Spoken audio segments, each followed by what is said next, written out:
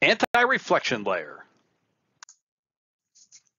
Let's set up the problem for anti-reflection. Let's say we have the interface between two materials. So we have material one, we have material two, there's an incoming wave, and due to the impedance mismatch, we get a reflection and of course some transmission. But maybe we don't want the reflection. Maybe we want to zero out reflections. This is super common, for example, on eyeglasses or lenses on cameras any light that gets reflected at the the best thing that can happen is that we lose light to the photodetector but an even worse thing that can happen is that that scatters around inside the imaging system producing all kinds of other bad effects. So there's many times we would like to zero out the reflections. Well let's look at the equation for reflection. So the reflection coefficient for that interface is really the difference between the two impedances over the sum.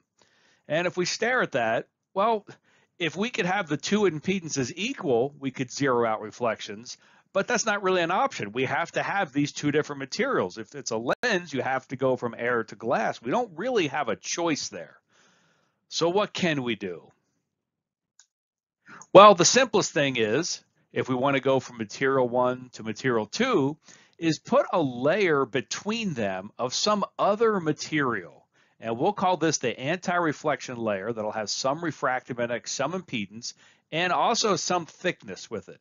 So now the problem is, how do we choose these numbers so that we can get exactly zero reflection from that interface? To answer this question, let's go back to this original equation for the overall reflection from a dielectric slab. At this point, we have a dielectric slab. This anti-reflection layer is the slab. So how do we get this to go to zero? Well, we could do one of two things. The denominator could go to infinity, but that's not really an option. There's no way of doing that. So it must be the numerator that has to go to zero in order to zero out reflections. So our problem reduces to this. Well, let's think about this now we really don't have a choice on these two reflection coefficients other than the choice in materials, but chances are we can't get either of these to be zero. So we don't really have a choice there. So the trick must be this psi term in order to get all of this to go to zero.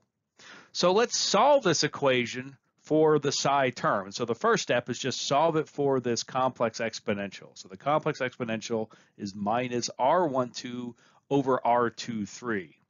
Well, we want to solve for psi, and we have e to the bunch of stuff times psi. So it makes sense then that we would take the natural log of both sides to just isolate what's in that exponent. So we take the natural log of both sides. Now here's where a lot of folks would run into an error. The natural log of this exponential is not minus j2 psi. That's because this complex exponential is a trig function, and it actually repeats every integer multiple of 2 pi. So to correctly invert that, yes, it's minus j2 psi, but to this 2 psi term, which is the phase, we have to add to that integer multiples of 2 pi. And so this m can be anything negative or anything positive in general. From there, we can now solve for the psi term, and we end up with this equation. But psi itself really isn't useful. We want to solve for the thickness of the layer. Remember the two reflection coefficients now. We have medium 1 to the anti-reflection layer, and then we have medium 2 to the anti-reflection layer. We can plug those back into our equation for psi. So we just blindly put those in, we'll turn the crank and simplify that a little bit, and we end up with this sort of ratio of terms of different impedances. All right, now ultimately we're after the thickness of this slab. So psi, the phase we accumulate going through this slab is K naught times the refractive index we've chosen for this layer and the thickness. So psi we replace with K naught NAR D. Recognizing that K naught is the free space wave number, 2 pi over lambda, we can replace the K naught with 2 pi over lambda. Now we're in a good position to solve for D. So we can do that. And we see we have a lambda naught over 4 NAR. This is essentially a quarter wavelength inside the layer. Multiplying this term, which in general could end up being a complex number. And then plus or minus integer multiples of lambda over 2. Now, because this could potentially be a complex number, we really just want to go with the real part of whatever it is we calculate over here.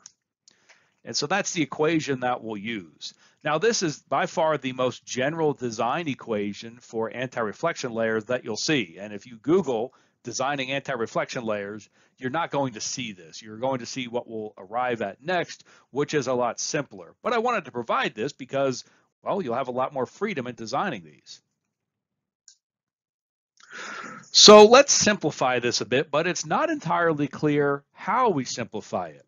Well, here's this function of all the different impedances we had inside the argument of the natural log. So I've multiplied this out. And staring at this long enough, we can figure out how to simplify this, or at least a condition. We see we have this NAR times N2 minus, or eta 2 minus eta 1, and that term appears in the denominator and numerator. We also have an NAR squared minus eta 1 times eta 2. What if we chose the impedance of the anti-reflection layer squared to be this eta 1 times eta 2? Well, if we chose that, this entire expression just becomes negative 1. In which case, our design equation reduces to this. And this is what you would see if you Google anti-reflection layers. So you'll set the impedance to be essentially the geometric mean of the two impedances that you want to match. And then you make the layer a quarter wavelength, plus or minus integer multiples of a half wavelength from there. So let's really look at this equation that we have. This first term, lambda naught over the refractive index of the anti-reflection region. So we have free space wavelength over refractive index. So this ratio is the wavelength inside the anti-reflection layer. When we divide that by four, we interpret this term as a quarter wavelength. So the nominal thickness of an anti-reflection layer is a quarter wavelength. And this is what everybody knows and understands. Well, if we look at the second term, it's really the same thing as this first term, but with a 2. So this is a half wavelength, but then we have plus or minus integer multiples of this half wavelength, and that's how we interpret m. Now, in practicality, we can't really set this to be negative something really large because we'll get negative thicknesses. And so this really just needs to be a positive number. Mathematically, it can be negative, but physically, uh, we can't make the D negative. So we're really only looking at M equals zero and positive numbers from there. So here's the design procedure. We have to match going from eta 1 to eta 2. So we will choose the impedance of this medium to be the geometric mean or the square root of eta 1 times eta 2. And so there's a bit of freedom there because we also have to choose refractive index. Now, almost all the times, the permeability is negligible. And so the relative permeability is usually equal to one. Now, in this case, we can choose the anti-reflection layer in terms of the permittivity or refractive index instead of impedance. And that's because impedance is no longer a function of the permeability, only permittivity. So we don't even have to think in terms of the impedance. And so if we want to do it in terms of dielectric constant, the dielectric constant of the anti-reflection is the geometric mean of the two dielectric constants we're trying to match, or much more commonly is it's done through refractive index.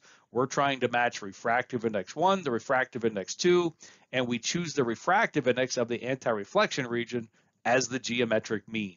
So this is probably what you'll see if you Google anti-reflection layer, that we calculate refractive index as the geometric mean.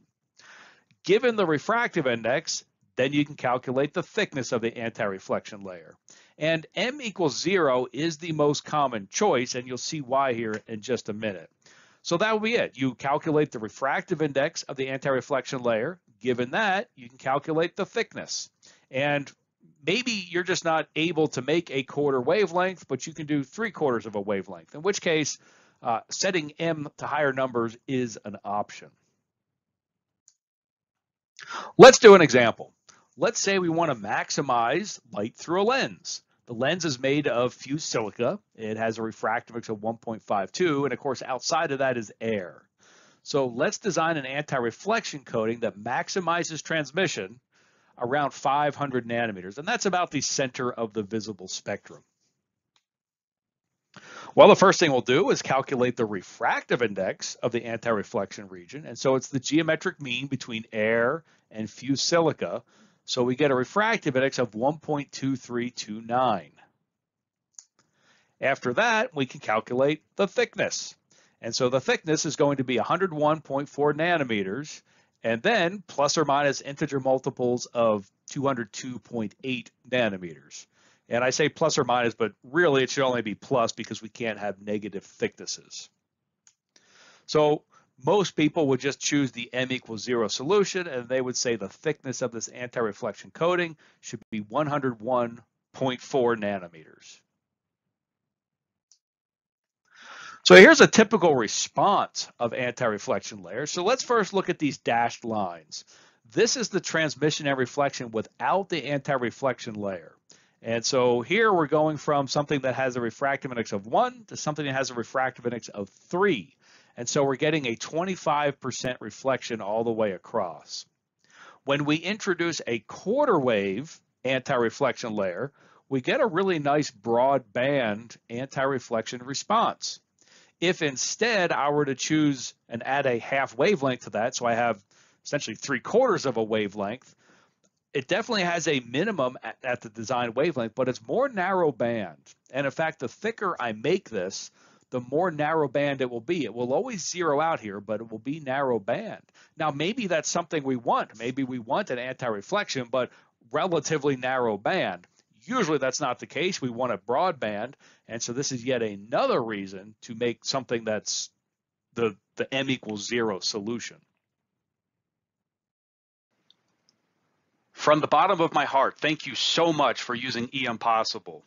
I want to create more videos and I want to continue to improve how electromagnetics and computation is taught online. To do that, it will really help me if you can like this video and subscribe to our channel.